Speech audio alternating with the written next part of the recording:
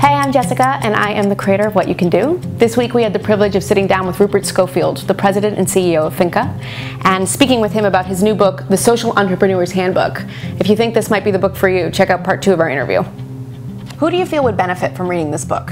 Well, you know, um, I was a child of the 60s, you know, and uh, I have children of my own uh, who have gotten out of college recently, and I guess I was you know, primarily thinking about them. You know, when I got out of college, I didn't know what I was going to do with my life. I just sort of got lucky. You know, I went into the Peace Corps, frankly, because my other choice was to go to Southeast Asia and Vietnam. so that was sort of a no-brainer.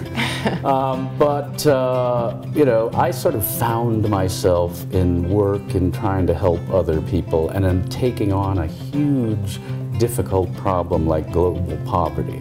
And so I, you know, I've met a lot of people uh, coming out of college or business school or whatever, and Often these are kids of the people I went to school with at Brown, and they call me up and they say, you know, I want to be a social entrepreneur. I want to go into microfinance. How do I do it? How do I get started? And what are the steps after that? So I thought I would write kind of a roadmap, really, for mainly for that audience of, you know, how you could get started in this field, how you could acquire the skills you're going to need and the experience to really make a difference in the world. And of course, uh, then I got to thinking, well, it's not just for those people, because there's also people who are mid-career, could be lawyers, business people, bankers, whatever. And for some reason, they've just decided, you know, I'm, I'm missing something, you know, I want to give back, or I want to have an impact on, on these huge problems in the world. And so, uh, you know, this is also for them it's telling that, hey, there are these opportunities out there. You can join an existing social enterprise. If you have the ambition and the drive, uh, you can start your own. What advice would you give a budding social entrepreneur who has a great idea but isn't sure whether it could be a full-fledged business?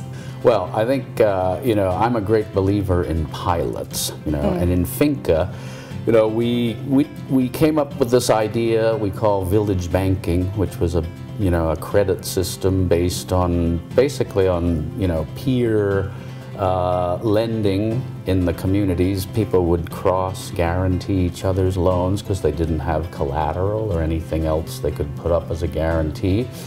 Um, and we started it with our own funds. We had a consulting firm and we said, you know, we'd been working for the World Bank and the UN and so forth and, you know, traveling around the world, dining out in 20 different languages, having an exciting life. But, but the projects we were working on weren't really helping the same kinds of people that I was working with in the Peace Corps, you know, the, the really poor people, the peasant farmers, the poor women in the markets and so forth.